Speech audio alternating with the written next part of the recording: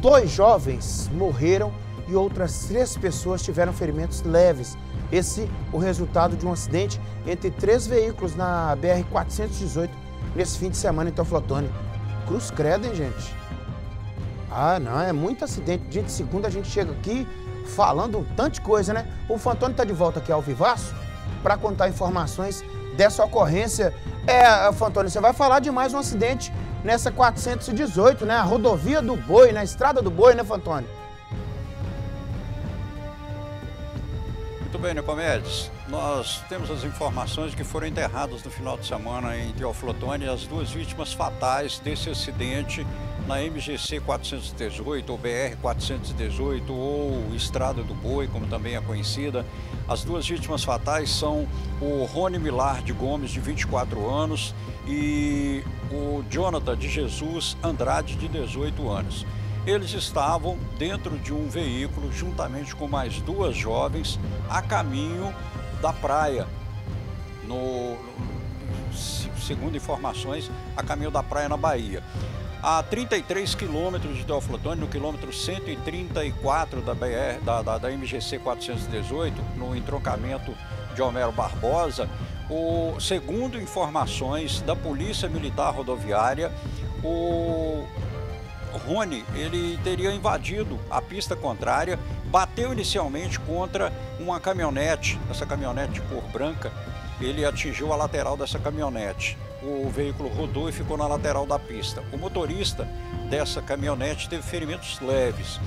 A questão é que na continuidade do acidente, o carro dirigido pelo Rony atingiu um outro automóvel que vinha imediatamente atrás. Aí já foi uma colisão frontal pelo lado esquerdo, lado do motorista.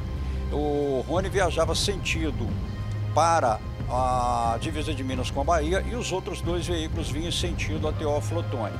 Nesse segundo veículo, o motorista, o Juliano Barros de Almeida, ele teve ferimentos graves, ferimentos nas pernas, em uma das pernas, e a passageira dele, que é a mulher dele, estava, está grávida, teve ferimentos leves no comércio. Então esse é o resultado do acidente. O Rony morreu no local, segundo a polícia.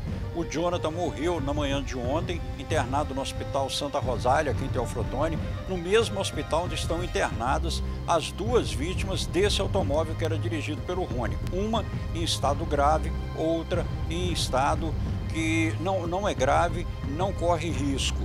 A polícia apurou que, em função desse acidente, a, a, a, a situação foi provocada possivelmente por um descuido, alguma falha mecânica, tudo isso vai ser avaliado e com detalhe. Ao fazer a verificação da documentação do Rony, foi verificado que ele não é habilitado para dirigir automóvel. Ele é habilitado para dirigir motocicleta. Porém, a CNH dele está vencida há mais de um ano. Há informação de que ele veio da Inglaterra para passar as férias em Teoflotone há uma informação, uma suspeita da polícia de que ele passou a noite em um estabelecimento comercial em Teoflotone e pela manhã decidiu fazer a viagem. Então tudo isso vai ser apurado na, no, no inquérito policial a respeito desse acidente, um, o mais grave acidente do mês ocorrido na MGC 418, com duas vítimas fatais, duas de ferimentos graves, duas de ferimentos leves e há um detalhe, Nicomedes, nós estamos no período de férias, o fluxo de veículos aumentou muito na MGC 418, porque ela é o caminho, é a rota para o turismo aqui da região em direção ao sul da Bahia Norte do Espírito Santo, Nicomedes. É muito bem explicado, viu, Fantônio, por você, né? Com os detalhes aí, né, de, que envolve esse acidente gravíssimo, né? A gente vê pelas imagens, chega a dar um aperto no coração da gente, né? Porque as imagens são muito fortes, né? É, e, e, os carros são programados, os carros de hoje, para se, se desfazer assim, ó. É, antigamente os carros ficavam mais intactos e o, o condutor e o, os ocupantes do veículo absorviam toda a pancada no corpo. Hoje não. Hoje o carro é programado assim para ele receber o impacto e desmontar para que esse impacto que chegaria no, nos ocupantes que ele seja diluído. Apesar disso, como a pessoa sobrevive de um acidente dessa magnitude? Olha só, Olha só. Aonde estava o motorista, o condutor?